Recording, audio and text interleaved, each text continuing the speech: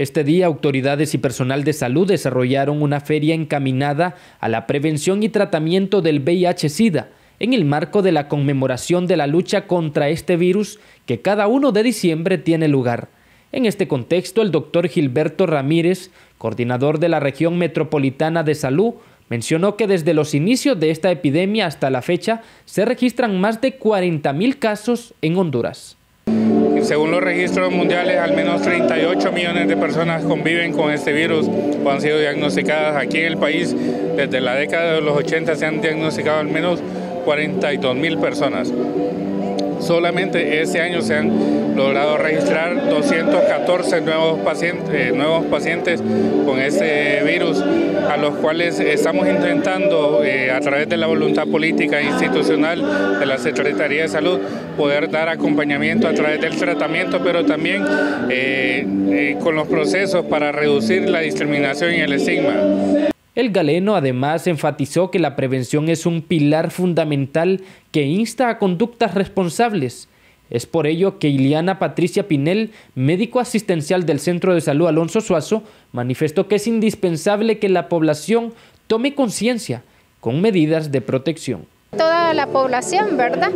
Sin distingo de sexo, a que acuda a los establecimientos de salud que la mayoría de ellos cuentan con esta prueba a realizársela para obtener un diagnóstico rápido y darle un tratamiento efectivo, eficiente para evitar desarrollar lo que es la enfermedad crónica que es el SIDA. No hay en la actualidad una cura eficaz para quien contrae el VIH-Sida. Conocimos el caso de Vilma Salinas, una capitalina de 56 años que cumple 23 años con el síndrome de inmunodeficiencia adquirida, provocado por una transfusión de sangre contaminada. Para mí fue un proceso porque los doctores me decían de que solo un mes de vida me daban. Ya se imagina usted que solo un mes de vida le digan a uno es bien difícil. Yo pensé que ya me iba a morir. Tuve que regalar mi hijo. Se lo regalé a una hermana mía. Le dije, hermana, cuídalo porque me dicen que yo ya me voy a morir. Mi hermana me lo agarró. Pero ha sido un proceso que he llevado así poco a poco, pero he salido adelante.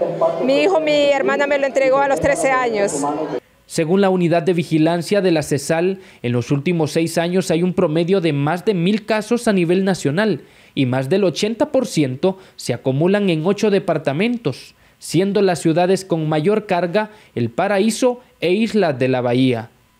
Es importante recordar que el sumo pontífice en varias ocasiones ha pedido orar por las personas afectadas por este síndrome, muchas de las cuales en algunas zonas del mundo no pueden acceder a las curas esenciales. También ha pedido mayor compromiso para garantizarles tratamientos sanitarios justos y eficaces.